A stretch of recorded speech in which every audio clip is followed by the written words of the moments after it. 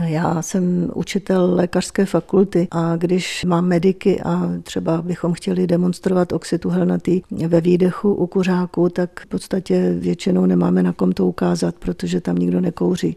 Ale kdybych vzala třeba dělnickou mládež v tom stejném věku, kolem těch 23 let, tak tam bude určitě kuřáků hodně, čili tam se to hodně liší podle té sociální vrstvy. Kouření se jako znak intelektuálů a vyšší společnosti začal proměňovat zhruba v 60. a u nás až v 80. letech minulého století. Na souvislost mezi cigaretami a rakovinou plic se paradoxně přišlo až po 50 letech bůmu kouření. Přesněji v roce 1950.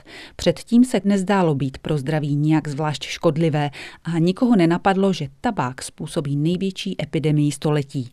I když trvá dodnes, množství závislých v posledních letech v Česku klesá, říká Eva Králíková z první lékařské fakulty a Všeobecné fakultní nemocnice v Praze. V posledních asi deseti letech se ukázal pokles zhruba o 5%, ale uvidíme, co s tím udělá COVID, protože kouření hodně souvisí s psychiatrickými emocemi a tak se významně zvýšil počet depresí, úzkostí a podobných poruch, které samozřejmě jsou provázané s kouřením, takže obávám se, že ten pokles nebude úplně setrvalý a že může zase dojít k navýšení. Dnes je u uživatelů málo kdy závislost jenom jedna. V případě nikotinu se dost často snoubí se závislostí na alkoholu, vysvětluje primář kliniky adiktologie Petr Popov. Pokud člověk se léčí pro závislost na alkoholu, začne abstinovat, ale pokračuje dál v závislosti na nikotinu, tak má jednak tendenci občas kouřit víc než předtím, stejně jako třeba víc eh, používá kofein, většinou v kávě, tak si to jakoby trošičku nahrazuje nebo případně i nějakými jinými látkami. Takže je důležité, aby člověk, který má takovýhle kombinovaný problém, tak aby ten problém řešil pokud možno souběžně.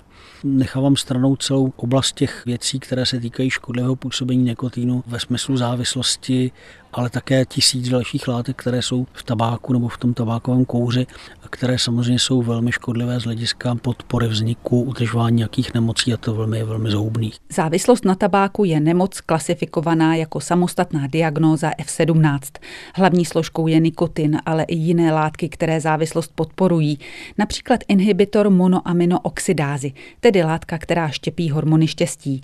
Proto jich mají kuřáci méně. Dnešní cigareta je hodně sofistikovaný výrobek, rozhodně nesrovnatelný s cigaretou před stolety.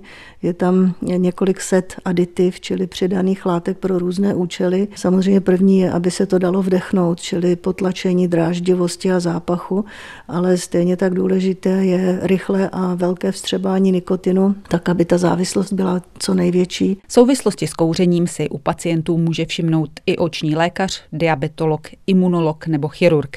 Zvýšený cholesterol, vysoký tlak, cukrovka nebo poruchy štítné žlázy s kouřením typicky souvisejí, dodává profesorka Králíková. Samozřejmě plíce jsou první na řadě, ale kouření ovlivňuje všechny orgány v těle a prakticky nenajdeme obor, kde by kouření nespůsobovalo nějaká onemocnění.